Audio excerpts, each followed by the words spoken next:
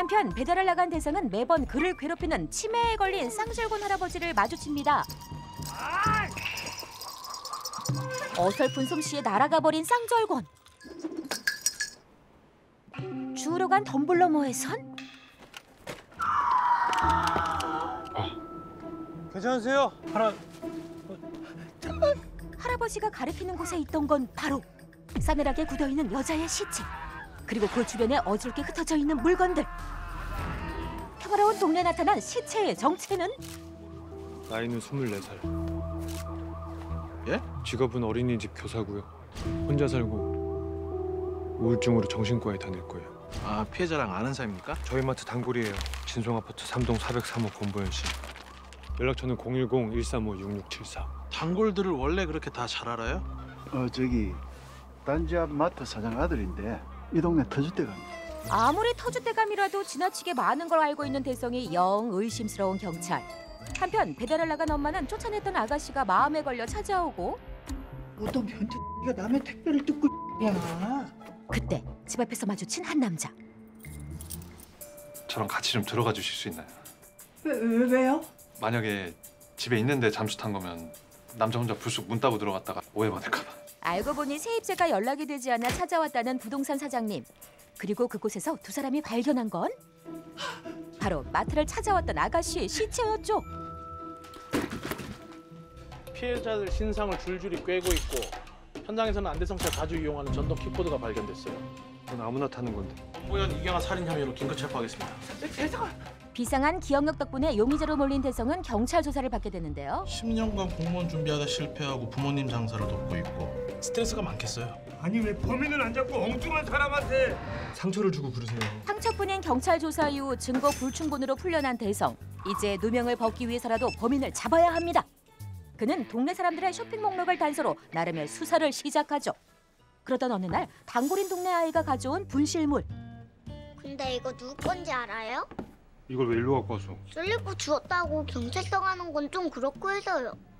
여기 분식물 코너에 놔도 돼요? 어디서 많이 봤다 했더니 살해당한 여자가 신고 있던 슬리퍼. 근데 너 이걸 어디서 주웠어? 성당 마당에 성모 마리아 있잖아요. 거기 앞에서. 언제? 그저께요. 범인에 대한 단서를 찾기 위해 성당에 찾아온 대성. 그는 그곳에서 사건 현장에 있었던 알약을 발견하는데요.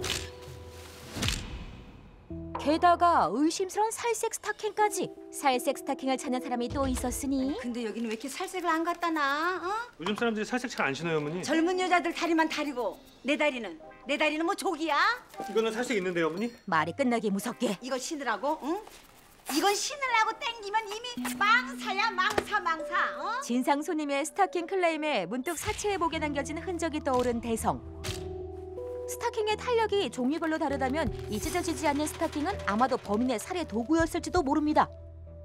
그러고 보니 왜 시키지도 않은 물건을 자꾸 갖다 놔요? 살해당한 여자의 집에 배달된 물건 중에도 스타킹이 있었죠. 범인은 아마도 마트에서 이 스타킹을 사간 사람들 중 한 명? 이게 뭐야? 살해 도구. 권보현 씨가 신었던 건 아닐 거야. 항상 커피색을 사갔거든. 이건 살색이고. 오빠 그날 경찰 오기 전에 현장에 손댔어? 그거 내가 성당 앞에서 주웠는데 이것도 같이 주웠어.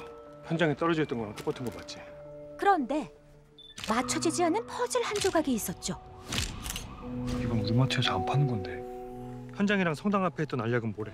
알약 노노, 사탕임, 비타민 C, D 함유. 현장에 흩어져 있던 게 알약이 아닌 사탕이었다니. 대성은 그것과 똑같이 생긴 사탕을 마트에서 발견하죠. 이거 이 부근에서 우리가 독점 판매했어. 여기 이사라는 사람이 니네 아빠한테 그 뭐냐 그 시엠성 그거 만들어 달라고 하면서 대량 계약했어. 이 사탕을 납품하는 업체가 뭔가 수상해도 많이 수상합니다. 어디서 많이 본 거 같은데?